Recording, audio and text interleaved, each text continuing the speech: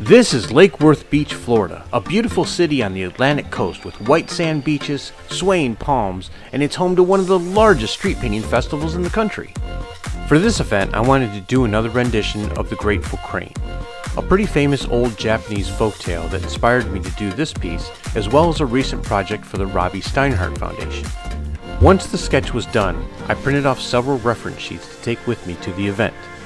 Here I'll be using a grid to scale up the picture to 10 feet by 10 feet. Then I packed up all my art supplies including tempera paint, tape, brushes, and my pastel chalk for the 4 hour trip to the east side of the state. After locating my space, I start rolling out the black tempera paint for the background. Tempera is water based and provides a great surface for the chalk to stick to.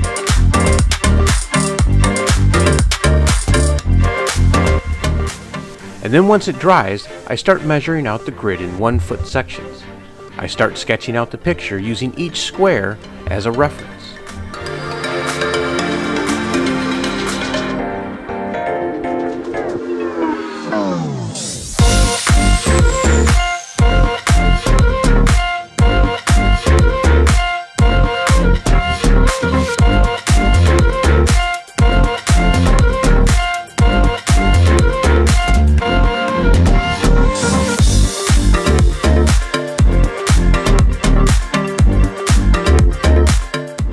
About 10 o'clock p.m.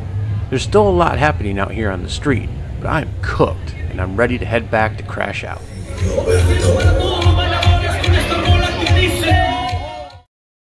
It's day two and it is packed. There are so many people here enjoying the artwork and the music and the food.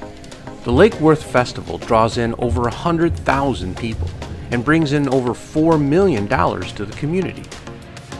I got most of my piece done on the first day, so now I'm just finishing up the details and adding little things that bring the design to life.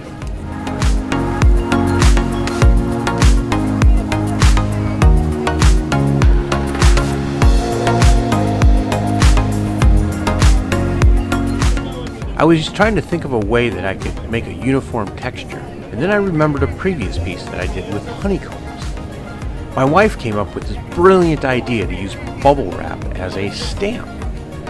So I went into one of the stores and I asked them if they had any spare bubble wrap. They were more than happy to help out, and so I used the bubble wrap to create the dress's pattern. In this case, credit goes to my wife for this one.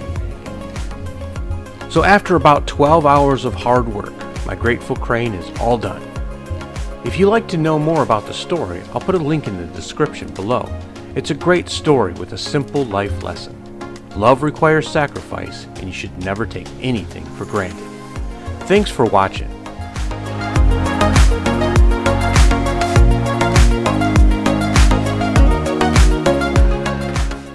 Don't forget to subscribe, and if you like unique art projects, make sure to check out this next video.